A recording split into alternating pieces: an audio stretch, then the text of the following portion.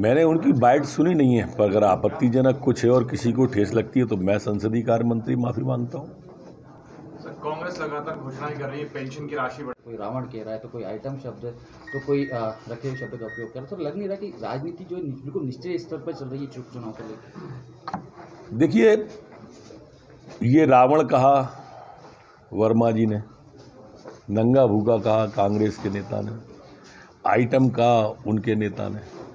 लगातार इस तरह के शब्दों का प्रयोग करके कांग्रेस मुद्दे से भटकना चाहती है कि कोई उनसे पंद्रह महीने का हिसाब न ले ले। क्योंकि उनके पास मुद्दा ही नहीं है। आप कमलनाथ जी का एक भी बयान ऐसा देख के बता दो, जो उन्होंने कहा हो कि मैंने पंद्रह महीने में ये काम कर दिया, मुझे वोट दे दो। हमारे को गाली दे के वोट मांगना चाह रहे हैं। जहाँ जा रहे हैं, वहाँ हमको गाली दे रहे हैं। आपने क्या किया? आप बताओ। हमने क्या किया? हम बताएँ। जनता तय करेगी किसको वोट देना है उसके बाद।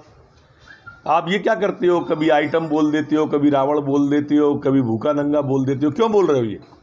आप तो सीधे मुद्दे पे आओ विकास के पे। हम सिर्फ़ विकास पे चुनाव लड़ रहे हैं। इसलिए इस तरह के मुद्दों को हवा दे रहे हैं। दिग्विजय सिंह यही बोलेंगे और क्या सोच रहे थे आप कमलनाथ की तरफ़ से माफ़ी मांगेंगे जैसे मैंने बिसाऊ लाल जी की तरफ़ से मांग ली? वो ऐसा नहीं कर सकते।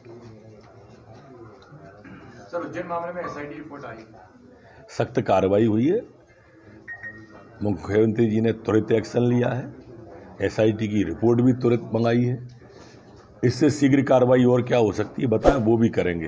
पर दोषियों को बख्शा नहीं जाएगा, कोई कितना भी बड़ा हो।